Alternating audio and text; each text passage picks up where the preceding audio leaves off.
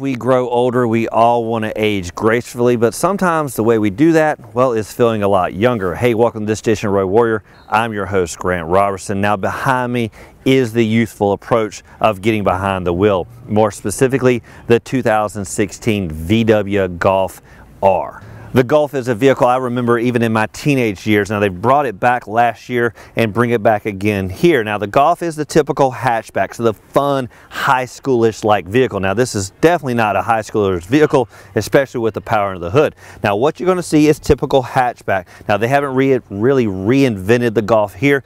Nice stylized lines. Something that's changed is really right up front. Now the entire vehicle is wrapped in body color all the way around. Black accents really set this vehicle off, specifically on the mirrors and around here. I think something that would really turn me off is if they had adorned this all in chrome, because that truly doesn't match. Looking at the four corners, first thing you'll notice is these are 18 inch wheels. Now they're wrapped in a 225 40 or you can opt for the 19 inch wheel which is going to be a 235 35 now when you look at the ground clearance here to be expected snug in the road just under five inches. What's really great of course is that's barely a step in. Now for my six foot frame it's kind of more of a squat and duck in. Now what I like is again the overall dimensions. Now we'll get into the interior volume in just a second but when you look at the numbers basically the interior volume here is really great. This is an added bonus giving that added cargo typical hatchback. But this vehicle is the R. So what you're really looking at is the spunk behind the wheel.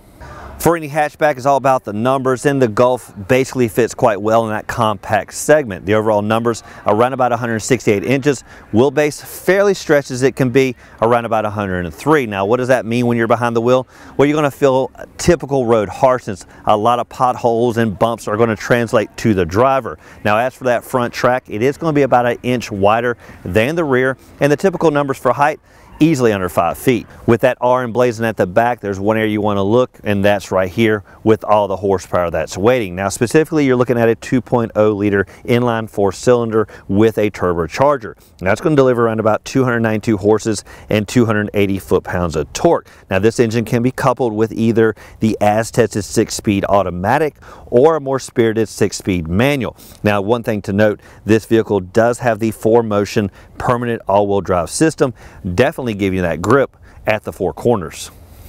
With any vehicle, you definitely want to have ease and comfort, and that definitely is behind the wheel, but it all starts here at the door. Now, typical operation is the smart key system, it's a proximity entry, and of course, the Golf has that. Now, what does that mean? It's pretty much walk up to this door here, pull on the handle, and it unlocks with ease. Now, the better part is, is there is a one-touch to lock it back. Now, all this translates into added security. Now, one thing I do like is when the vehicle is locked, one area of added security is the gas fill up area. Now, once the vehicle is unlocked, you can simply walk up, press here, and it opens right up. One thing you're gonna notice, definitely not new school, but still old school with the cap system. Now besides the engine being the funnest part of this vehicle, one area that I like is the business end on any hatchback because it truly delivers some added space. Now what I like back here is the huge bank of glass, really giving you great view out that rear window. Of course you got a back uh, spoiler for added sport and really kind of got this S curve going on when you look at the profile. Now as you sweep down, what you're going to find is really there's no backup sensors here. Really the only safety Typical for a vehicle this size is a backup camera, really giving you a nice view. Now one thing to note about hatchbacks, as you can tell, it collects all the dirt as you're going down the road, so it may need a little extra cleaning as this is really a dirt collector. Now here at the back end, when you're looking for the access for the rear hatch, you're not going to find a typical handle. If you're familiar with Volkswagens, they like to be a little bit more sneaky, and you're going to find a handle well right here. Simply press once, it's going to open right up. And as that opens, what you're going to see is nice acreage, specifically behind the second row, around about 22 cubic feet. Now, as you lay the seats flat, that's going to be almost more than double, giving you great acreage when you need to haul cargo.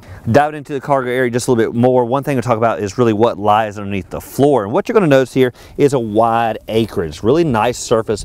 We put a lot of gear in here for a weekend trip. Now what's under here well, specifically nothing. And what it looks like is there is a place for a spare.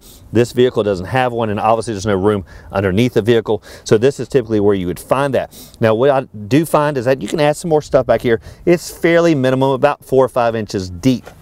Now what you're also going to find is nice security in the form of this rear tonneau cover. Now it's nice and solid which means when you store it away you're going to have to either take it out or shove it somewhere else. Now it opens obviously with the rear hatch and closes and it provides really an added security because if thief can't see it well they're not going to steal it. Volkswagen has developed numerous new exterior elements for the flagship Golf R.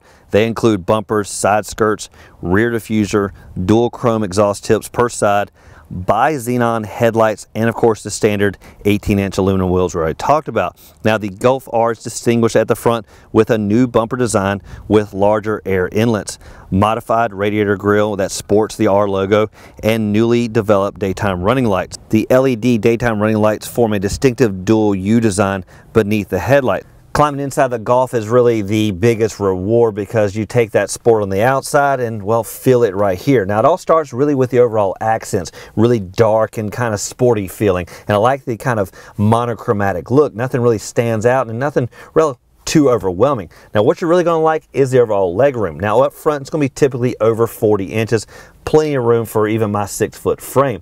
Now for the second row, not too anemic, but around about 35 inches. Now for anyone that's a little bit shorter, we can start to creep this front row up, giving just a little bit more comfort to the back. For any vehicle that has this much sport, one place you want to start is in the seat design. And as you can tell, there's a lot of side bolstering to hold you in place because once you see that R insignia on the leather, you're definitely going to hold on tight. Now, one thing to note, the front seats are powered. The driver's seat giving a little bit more power functions versus the manual operated passenger. Now, what you'll find is the buttons on the side power the uh, seat back up and down. There is a manual lift to raise this up and down and also a manual lever to move it forward. To control everything, there has to be a huge screen, not on the gauges, but right here front and center. Now, this is fairly easy to use and is the latest addition for Volkswagen, give you a lot more options. Now, this is the somewhat simpler screen. If you want to, you can opt for one that has navigation. Pretty much all the operation being here on the side, and it is really touch sensitive, allowing you to kind of access everything with ease. Now I like the fact that this can Bluetooth with pretty much any device, the Android or even the Apple. Some vehicles are only going with one or the other. This one really managing everything. For climate control, it couldn't get much simpler or sleeker looking. Now, one thing to note, there is dual climate controls up front, the digital readout giving you your specific temperature setting. Now, for uh, seat controls, there is heated seats here on the edges and the various modes through here. Now, I like the fact there is symmetry across the controls, your temperatures on both sides, and the nice oversized fan speed right in the middle, pretty much making this nice and sleek even better, easy to use. One of the driver dynamics starts right here, the gear shifter. Now again, this is the automatic version, but you do have a manual-like mode. Simply toggle it over and shift on the fly. Now, if you want to add even some more added effects, go to the driving mode here. Now, what that's going to do is give you three different versions, the normal, the race mode, or even individualized attention. Now, as you slide down between the front seats, what you're going to notice is a nice hitting area here. Now this is going to again make the vehicle feel sleek. That's because you're hiding your dual cup holders underneath here. Sometimes you don't need that. You may prefer to maybe put your phone right here and that is a great place even for the iPhone 6 Plus. Now, of course, you got some other operations and your power supply, maybe a little uh, coin holder here. Now, for the center console, one thing you're going to notice is it's not operational. This is no storage whatsoever. Instead, it's really a sliding area to add different effects for your elbow support. Some people like it further back, some like it a little bit closer. For the gauge cluster, it's going to be standard analog, tach, and speedometer with a little bit of information in the middle. Now, there is no digital readout for the speed, but I found that that wasn't necessary because I really like the illumination when it came to the gauges. For cruise control, you're going to find all the operation over here as well as the volume select. Now, this got a little bit confusing because I found myself constantly using this plus and minus for the volume and using this actually for my speed. So a little redesign here wouldn't hurt. Now on the other side is some other operations for the information on your gauges. That's going to be in the middle and of course selecting various functions when it comes to media. Of course you've got your Bluetooth and phone shortcuts as well.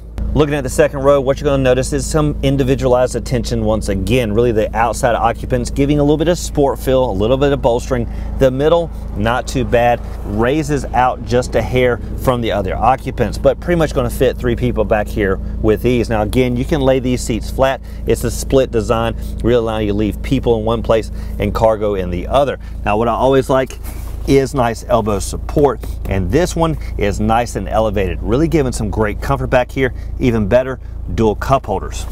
And that does it for this edition of Road Warrior in our test drive behind the wheel, of the 2016 Volkswagen Golf R. Now, if you're not familiar with that insignia, pretty much it's delivering that four banger with all of that horsepower and of course that four motion at the corners, giving you that all-wheel drive pretty much all the time. Now, what we liked here is of course the spunk behind the wheel, but it also delivered that interior volume you expect in a hatchback coupling that with that cargo. So even though this is a sporty model, maybe making me feel a little bit more youthful, it still has some practical means. Now, as always, like, thank you for watching this edition of Road Warrior. Keep both hands on the wheel and eyes straight ahead.